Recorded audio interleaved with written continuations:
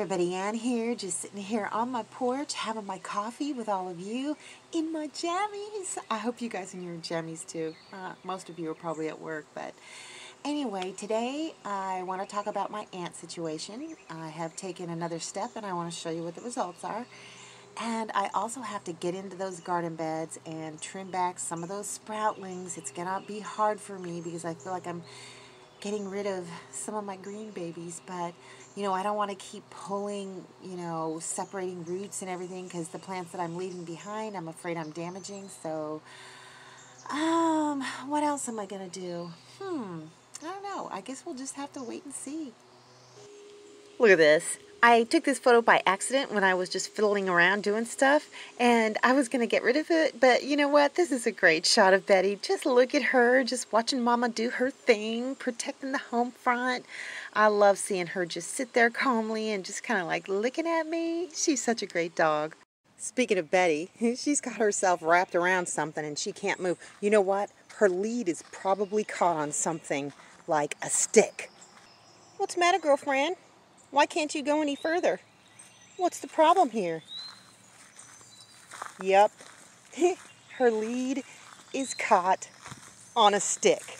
Okay, so she can't pull her lead off of this stick, but here, look at this.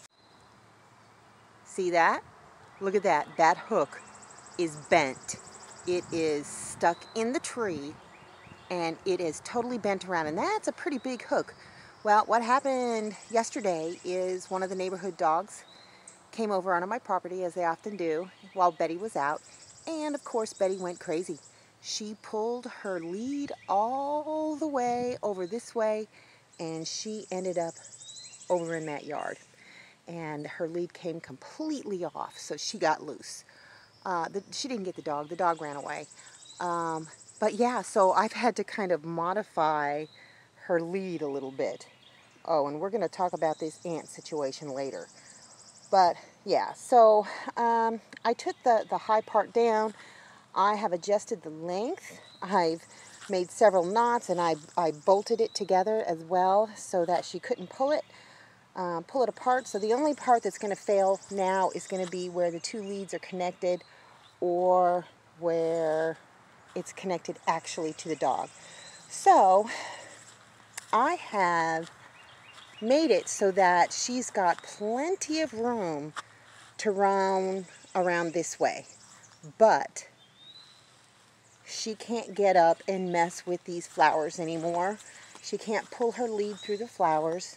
She can't like whip around and get her lead underneath the solar panels because this is going to be a solar panel area and she won't be able to get the chickens. It stops just short of the chickens. Now about this ant situation, I had sprinkled a bunch of this, um, oh, it's a, it's a ant killer made from diatomaceous earth, and I'll show you the bottle that I used.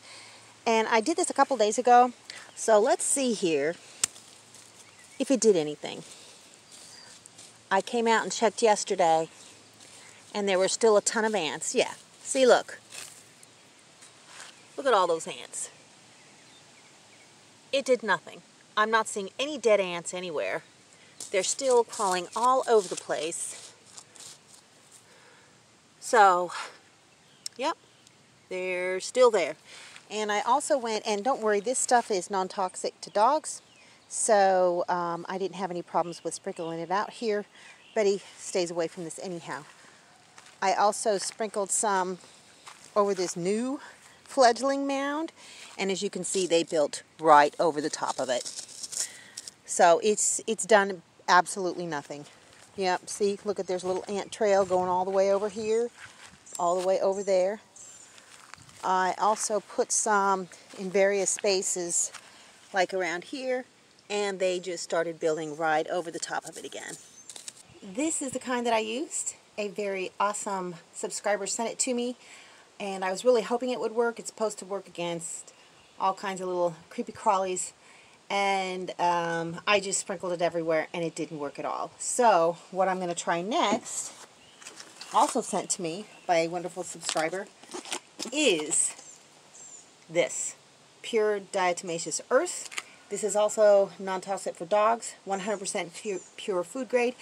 I'm only going to put it in one spot because I don't want to waste this stuff. There's a lot of other good stuff you can do with this that will work. So I'm going to put it on that big ant pile over there that I just poked at. And, well, we'll just see if it works. If it doesn't, I've got another solution. I'm just going to grab some out of this bag. I've got it in a little thingy. And I'm just going to sprinkle it literally all over, all over the ants. Some of them are already coming to try and get me.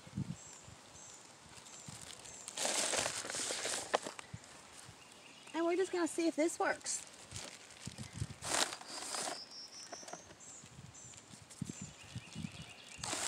Please let this work.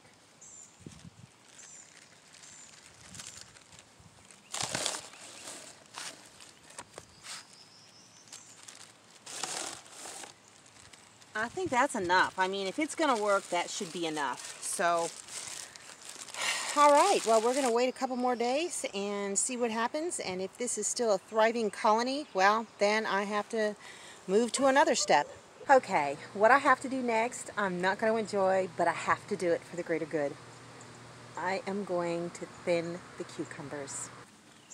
All right, beautiful cucumbers. Now, I'm not going to just pull them because what I'm concerned about is that the it may disrupt the root system of the cucumbers that I'm going to leave. So I'm going to pick the ones that I don't want and just cut them, cut them down cut them down all the way to the soil. And these are all going in the compost heap. Alright. I'm keeping the ones with the most secondary leaves and with the thickest stems. I think I'm going to leave two in each spot. So, there's that. Oh gosh, these all look so healthy. Oh, I feel so bad. I don't like this. I don't like it at all. But uh, you got to do it. okay. Let's see here.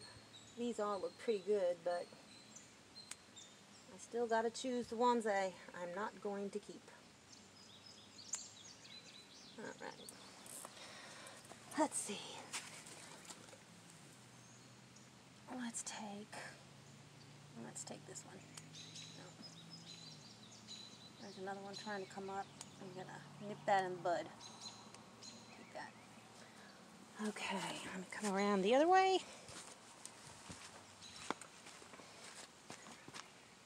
These all look pretty good. Take this one.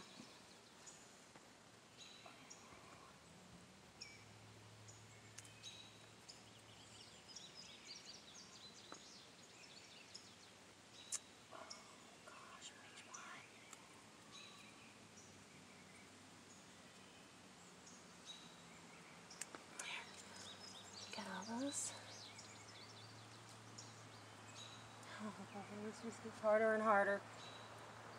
I'm sorry, guys.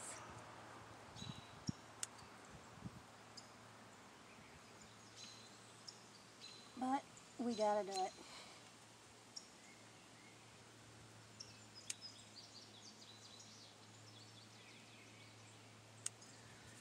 It's getting there.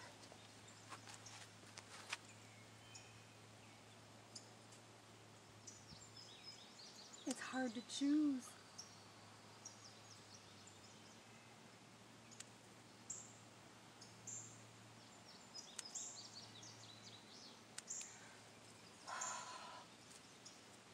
this doesn't feel good.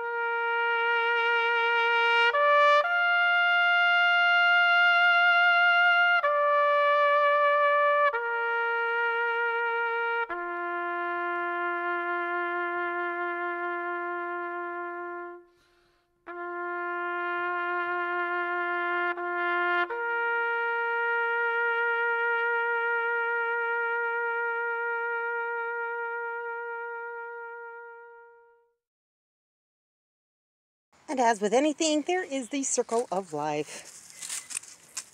They're not dying, they're just going to take another form. Man, that compost heap needs to be watered, doesn't it? Lastly, I wanted to talk to you about my wood burning stove. This is pretty much how I want it to look when I bring it inside. It looks like this guy has added some extra pipe there and he's got a little fitting up at the top. And I'm thinking that the extra pipe that he's added is a double walled sort of a pipe and you can see that little collar up there and I've got to get an elbow thingy too. I imagine that it's going to be double walled though, whatever goes through the wall. And then this is what it looks like on the outside. I don't really like that cap. I know that there are specific caps you can put on the tops of these, but I will be hiring a professional to do this. That's one thing that I have made the decision to do is hire a professional. And I also like how he has put a little piece of like a support thing that secures it to the roof. So I'm definitely going to have to get one of those too. Yeah, looks pretty good. Look at this, a torrential downpour. You know, a few months ago I would have complained about this, but not today. I needed the rain, so you know what? I got my boots on, I've got my umbrella. I'm going to go check the rain barrel. Here we go. Oh my gosh. Look at that. It's been raining for like 20 minutes. I've got to change these over. Oh, my goodness. Whew. That was hard. All right, I'm underneath the tarp. So much rain. It is just exploding everywhere. I don't even have that barrel set up exactly right, but that's all right. Um, let's get out of here. Woo! Look at Oh my god, is it already full? No, it couldn't be already full. Alright, I'm not going to stand out here like a fool in the rain. I'm going to go inside and change my clothes because I'm soaked. Check it out, you guys. It took me five minutes to change those buckets over, and this one is already full. It is already full. Oh my gosh, I need a bigger collection thingy. Ha ha! I know you can hardly see me and I'm soaking wet, but seriously, this has been awesome. Anyhow, that's all I got for you today. See you in the next video. Thanks for watching, everybody. I hope you enjoyed the video. Make sure you like, subscribe, hit the bell, and y'all have a good one.